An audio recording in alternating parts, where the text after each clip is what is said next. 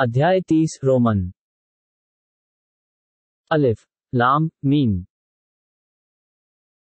पराजित हो गए रूमी।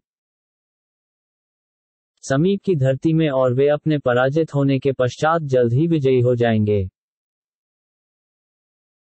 कुछ वर्षों में, अल्लाह ही का अधिकार है पहले भी और बाद में भी और उस दिन प्रसन्न होंगे ईमान वाले।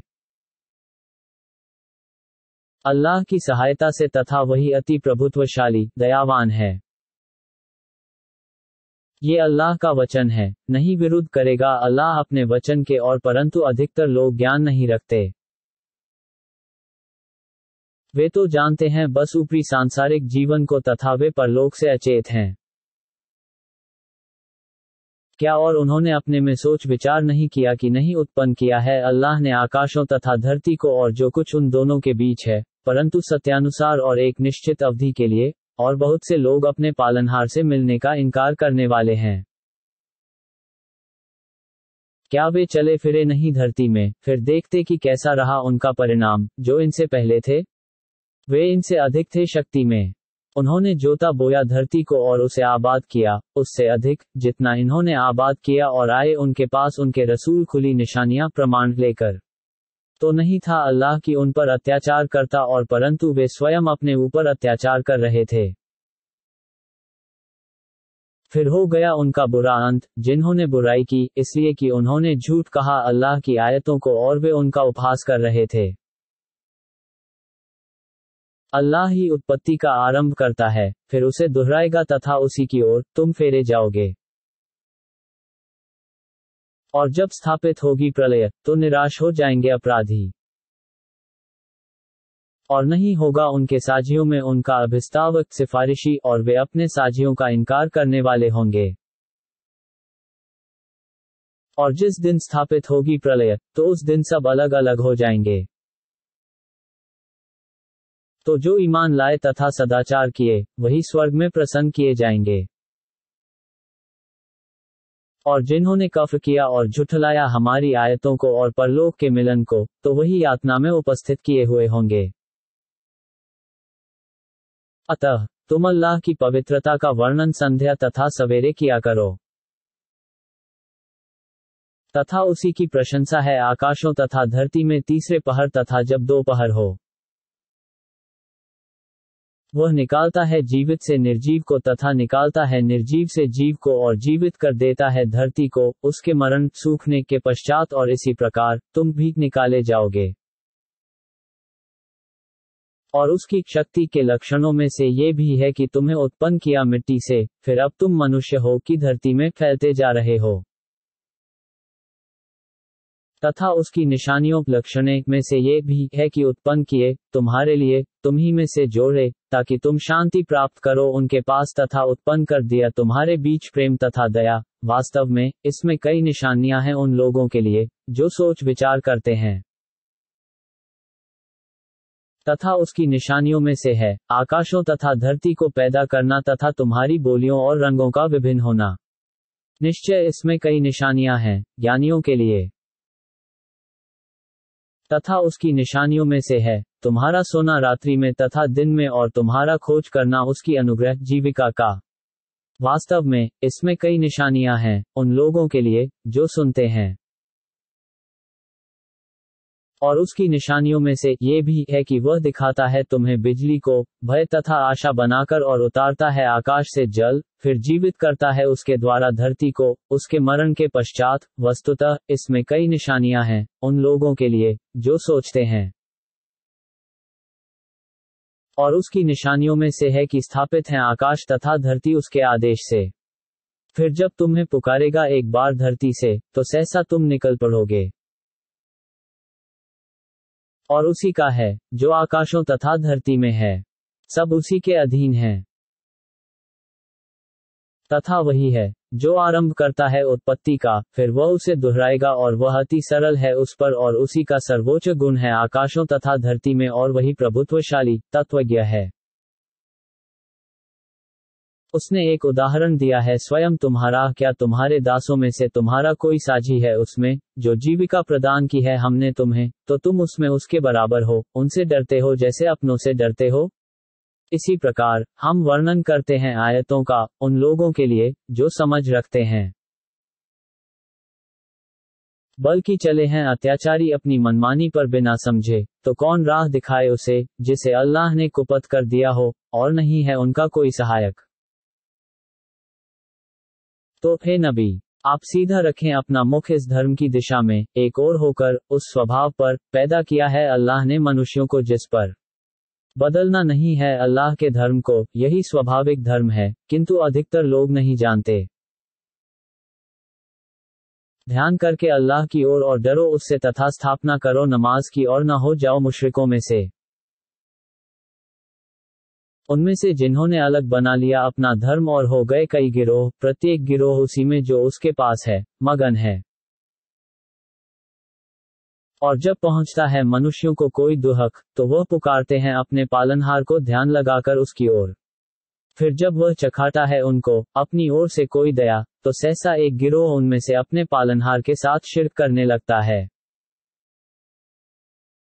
ताकि वे कृतघ्न हो जाएँ उसके, जो हमने प्रदान किया है उन्हें। तो तुम आनंद ले लो, तुम्हें शीघ्र ही ज्ञान हो जाएगा।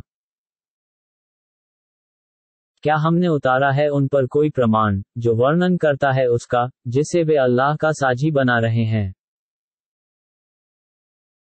और जब हम चखाते हैं लोगों को कुछ दया तो वे उस पर इतराने लगते हैं और यदि पहुँचता है उन्हें कोई दुहक उनके करतूतों के कारण तो वह सहसा निराश हो जाते हैं। क्या उन्होंने नहीं देखा कि अल्लाह फैला देता है जीविका, जिसके लिए चाहता है और नाप कर देता है? निश्चय इसमें बहुत सी निशानियाँ हैं, उन लोगों के लिए, जो ईमान लाते हैं। तो दो समीपवर्तियों को उनका अधिकार तथा निर्धनों और यात्रियों को। ये उत्तम है उन लोगों के लिए, जो चाहते हों अल्लाह की प्रसन्नता और वही सफल होने वाले हैं। और जो तुम व्याज देते हो, ताकि अधिक हो जाए लोगों के धनों में मिलकर तो वह अधिक नहीं होता अल्लाह के यहाँ तथा तुम जो जक़ात देते हो, चाहते हुए अल्लाह की प्रसन्नता तो वही लोग सफल होने वाले हैं। अल्लाह ही है, जिसने उत्पन्न किया है तुम्हें, फिर तुम्हें जीविका प्रदान की, फिर तुम्हें मारेगा, फिर जीवित करेगा तो क्या तुम्हारे साझियों में से कोई है, जो इसमें से कुछ कर सके? वह पवित्र है और उच्च है, उनके साझी बनाने से। फैल गया उपद्रव जल तथा थल में लोगों के करतूतों के कारण, ताकि वह चखाए उन्हें उनका कुछ कर्म, संभवतः वे रुक जाएँ। आप कह दें कि चलो फिरो धरती में, फिर देखो कि कैसा रहा उनका अंत, जो इनसे पहले थे। उनमें अधिकतर मुशरिक थे।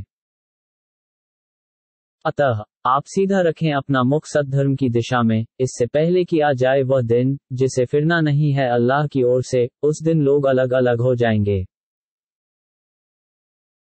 जिसने कुफ्र किया तो उसी पर उसका कुफ्र है और जिसने सदाचार किया तो वे अपने ही लिए सफलता का मार्ग बना रहे हैं। ताकि अल्लाह बदला दे उन्हें, जो ईमान लाए तथा सदाचार किए, अपने अनुग्रह से। निश्चय वह प्रेम नहीं करता काफिरों से। और उसकी निशानियों में से है कि भेजता है वायु को शुभ सूचना देने के लिए और ताकि चखाए तुम्हें अपनी दया वर्षा में से और ताकि नाव चले उसके आदेश से और ताकि तुम खोजो उसकी जीविका और ताकि तुम कृतज्ञ बनो। और हमने भेजा आपसे पहले रसूलों को, उनकी जातियों की ओर। तो वे लाए उनके पास खुली निशानियाँ, अंततः, हमने बदला ले लिया उनसे, जिन्होंने अपराध किया और अनिवार्य था हम पर ईमान वालों की सहायता करना। अल्लाह ही है, जो वायुओं को भेजता है, फिर वह बादल उठाती हैं, फिर वह उसे फैलाता है आकाश में, जैसे चाहता है और उसे घनघोर बना देता है।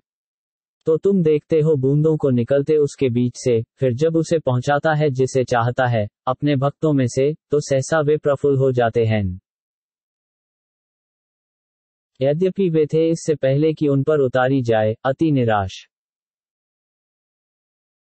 तो देखो अल्लाह की दया के लक्षणों को, वह कैसे जीवित करता है धरती को, उसके मरण के पश्चात, निश्चय वही जीवित करने वाला है मुर्दों को तथा वह सब कुछ कर सकता है। और यदि हम भेज दें उग्र वायु, फिर वे देख लें उसे खेती को पीली तो इसके पश्चात कुफ्र करने लगते हैं। तो हे नबी, आप नहीं सुना सकेंगे मुर्दों को और नहीं सुना सकेंगे बहरों को पुकार, जब वे भाग रहे हों, पीठ फेंक कर तथा नहीं है आप मार्ग दर्शाने वाले अंधों को उनके कुपत से आप सुना सकेंगे उन्हीं को, जो ईमान लाते हैं हमारी आयतों पर, फिर वही मुस्लिम हैं। अल्लाह ही है, जिसने उत्पन्न किया तुम्हें निर्बल दशा से, फिर प्रदान किया निर्बलता के पश्चात बल, फिर कर दिया बल के पश्चात निर्बल तथा बूढ़ा, वह उत्पन्न करता है, जो चाहता है और वही सर्वज्ञ, सब सामर्थ्य रखने वाला है। और जिस दिन व्याप्त होगी प्रलय तो शपथ लेंगे अपराधी की वे नहीं रहे क्षण भर के सिवा और इसी प्रकार, वे बहकते रहे। तथा कहेंगे, जो ज्ञान दिए गए तथा ईमान की तुम रहे हो अल्लाह के लेख में प्रलय के दिन तक तो अब ये प्रलय का दिन है और परंतु, तुम विश्वास नहीं रखते थे। तो उस दिन, नहीं काम देगा अत्याचारियों को उनका तर्क और न उनसे क्षमायाचना करी जाएगी। और हमने वर्णन कर दिया है लोगों के लिए इस कुरान में प्रत्येक उदाहरण का और यदि आप ले आए उनके पास कोई निशानी तो भी अवश्य कह देंगे, जो काफिर हो गए कि तुम तो केवल झूठ बनाते हो। इसी प्रकार, मोहर लगा देता है अल्लाह उनके दिलों पर, जो समझ नहीं रखते। तो आप सहन करें, वास्तव में, अल्लाह का वचन सत्य है और कदापि वो आपको हल्का न समझें, जो विश्वास नहीं रखते।